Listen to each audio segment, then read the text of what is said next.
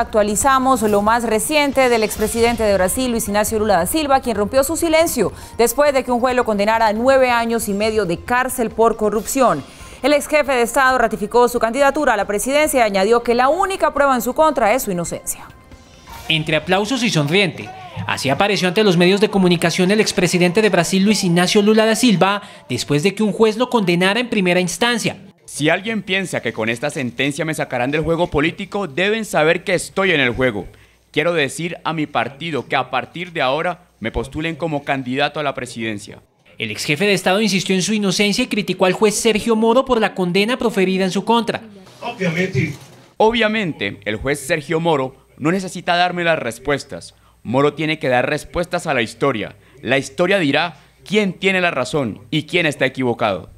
En ciudades como Sao Paulo, seguidores del Partido de los Trabajadores han adelantado marchas para apoyar a quien es considerado el mandatario más popular de Brasil. Sin embargo, detractores también han salido a las calles para adelantar cacerolazos y respaldar al juez Sergio Moro. En las calles hay un ambiente de incertidumbre por la suerte jurídica del hombre que gobernó al país entre 2003 y 2010. Y es que además de la sentencia del miércoles por haber proferido sobornos a cambio de facilitar contratos entre la constructora OAS y la estatal petrolera Petrobras, Lula da Silva tiene otros cuatro procesos en su contra.